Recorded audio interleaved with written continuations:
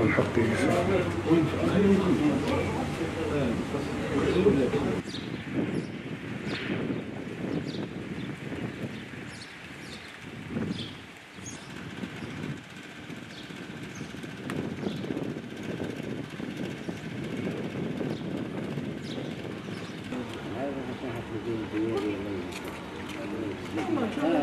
يجبدوها لكن بيجي بها الله اعلم الله اعلم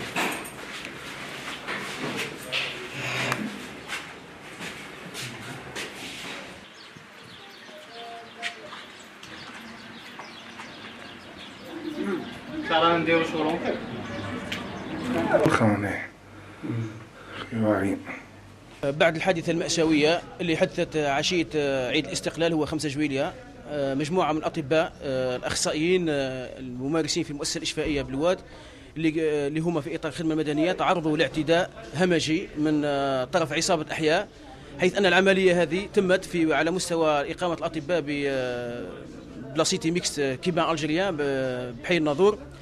الحادثة هذه تمت من الساعة العاشرة وربع إلى الساعة الحادية عشر.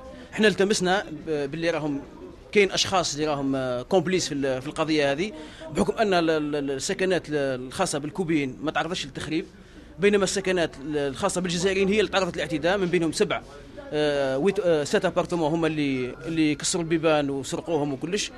نحن بدورنا كإدارة نستنكر هذا الحادث و...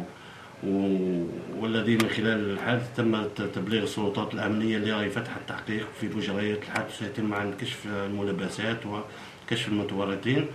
من ناحية أخرى فإن سيد والي ولاية الواد وسيد مدير الصحة حريصين شخصيا على إعادة تأمين سكنات وتوفير أقصى الشروط للتكفل بالطبيب.